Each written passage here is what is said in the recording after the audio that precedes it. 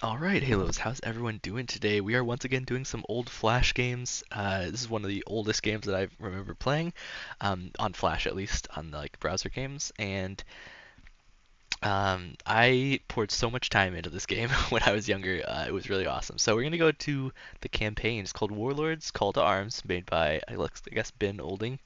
Um, I guess there's actually a site you can do it. I'll try to link all the stuff in the description. But uh, yeah, you can search for this stuff on, on Google and stuff as well if you need to. But yeah, it says conquer the the land by invading one region at a time, earn money by killing the enemy's troops, and spending it on upgrading your army and adding units. Uh, note your campaign will be automatically saved after each level. Um, so you can actually choose your race here. There's a bunch of different races. So the Night Elves, um, they all have their little like uh, descriptions down here. Feel free to read that.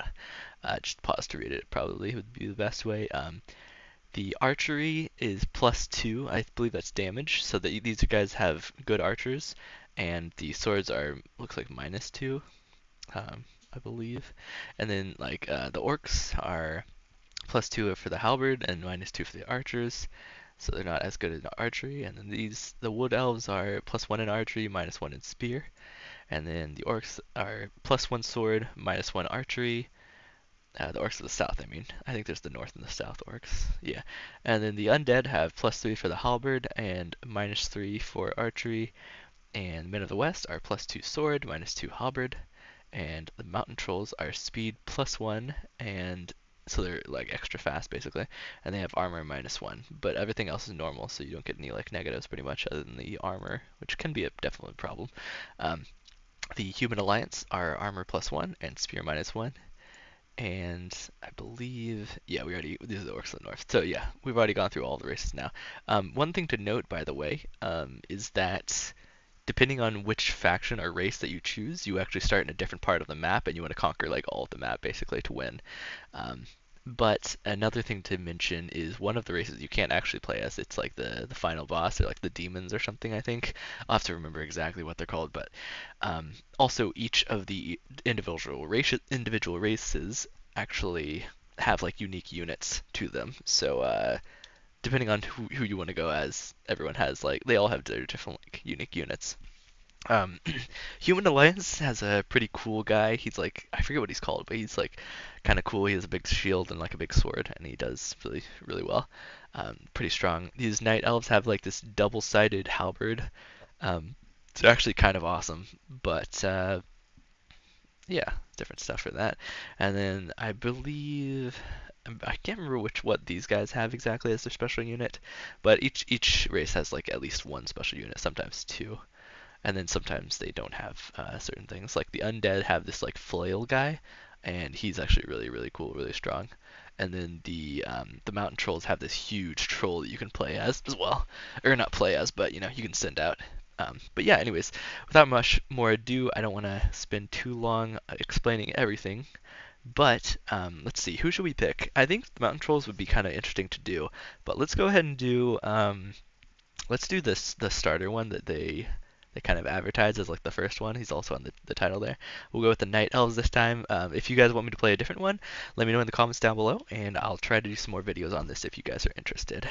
Let's go ahead and start the campaign. So you start off with these base units. You have the Spearmen, which you can see their stats right down at the bottom there, the speed, the armor, the range, and the max damage. And they also have like a little description there as well. They're fast moving and the quick to produce. Um, each unit has a cooldown individual to them, uh, and I believe I think either that or they, they all reset every time you send a unit out. I can't forget which one it is exactly. But yeah, um, swordsmen they have less speed obviously, but a lot more armor. Um, a little bit less range, and then their max damage is higher uh, depending on, of course, who you, which race you have. Um, these can also increase different stuff like this. So the swordsmanship we're starting with minus two, and the marksmanship we're starting with plus two. So everyone else is zero, which just means they're they're regular damage. They're not anything bonused. And then the archer has a pretty slow speed. Uh, pretty low armor, and then his range is super high, of course, and then the max damage is actually lower than both of these, but you can like stack these up, and they're pretty good. So, yeah, um, very dangerous in large numbers. Yep. You can also buy different units. You have the money up here, um, and you can buy more units. So um, the mage you can buy for 900. This all, is all the stats down there. You got mounted spearman, halberdier, mounted halberdier, and then a scout. And halberdiers are actually pretty good. I should probably go ahead and grab him. Um, but scouts and then long swordsmen, which are actually quite good. They're really strong, especially. Um, and then the whirler is their unique unit. He's pretty good. Very cool. Very cool. Um, and then yeah, yeah. And then the Axeman, uh, taxable charging forward, so he kind of like uses, he like drives people back and pushes them back. Um, so yeah, pretty good. A uh, bunch of different stuff you could do here for sure. We could go ahead and just uh, use our, our 500 gold to just go ahead and upgrade what we have so far. But um, I think the smartest thing to do is go ahead and grab the Halberdier Actually, you know what? No. Let's let's save our money for now, and we'll see how we feel. Uh, let's go ahead and continue to the map screen. And this is the whole map that you want to conquer. So you've got all these different races, and depending on who you start as, that's where you'll start from. Um, these are the demons that I was talking about. I believe they're called demons, and they are the hardest of all. But um, as you see, when you hover over, you can actually see the difficulty. And every time you defeat an enemy, that actually goes up overall. Um, so it gets harder and harder over time. But um, yeah, the difficulty is 3%, and these are the orcs of the north. You've got 2% men of the west, uh, 5% men of the west, this one's a bit harder, and 3% men of the west. So we could go with the easiest ones, but right now I'm actually thinking about uh, going with the harder one. Um, let's go ahead and try him out and see how we do. You know what? Actually, no. No, let's go. Let's go an easy one, and then we'll do a harder one after that. Just kind of show you guys the um, the different versions.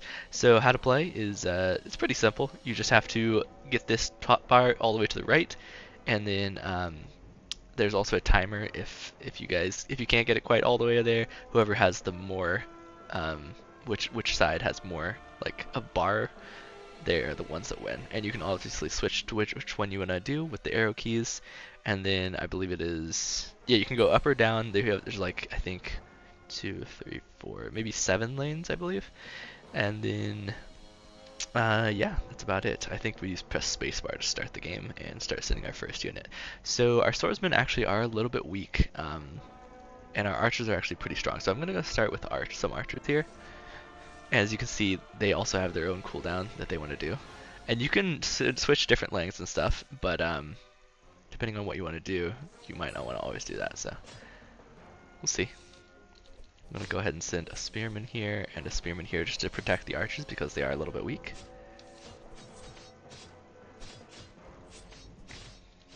There we go. Send a couple spearmen down here. Ooh, looks like we're getting wrecked up here, so let's try to take them out if we can.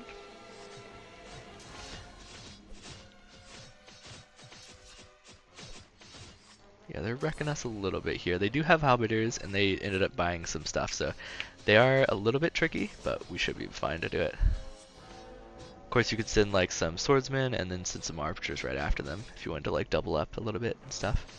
Definitely some options there.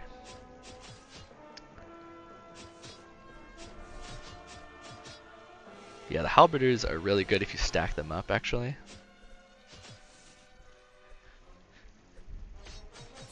But yeah, this is level one, and we will continue once we once we finish this one. So we actually did get a few guys through at the top here, as you can see. So we did send some people through, and we're doing pretty good there. Uh, looks like they're gonna probably wreck my archers here a little bit with these axemen. Oh, and then once you send a certain amount, I believe, I don't remember the exact, you press this charge and press Q and select which unit you want to send out of every lane. And that's a really cool thing to do. And most of the time I just try to focus on the middle. Usually they'll they'll like try to send people top and bottom, but um, people are uh, they'll once you like start sending a ton of mid, they'll usually start sending a bunch of mid as well.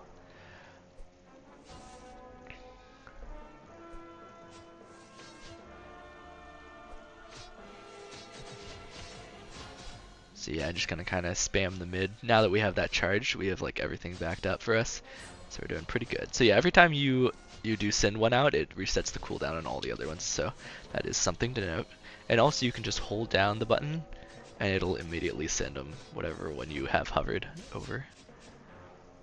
So we're doing really good here. We're actually pretty close to winning here.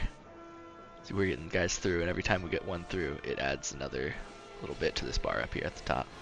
There we go, and victory, we won. Um, so yeah, there we go. Uh, click to continue. It says Sinshan is now owned by Night Elves. And we can continue on to the next part. But yeah, um, I'm actually going to go ahead and end the video here, and we'll continue in the next part. Thank you guys for watching, and I'll catch you there. Peace.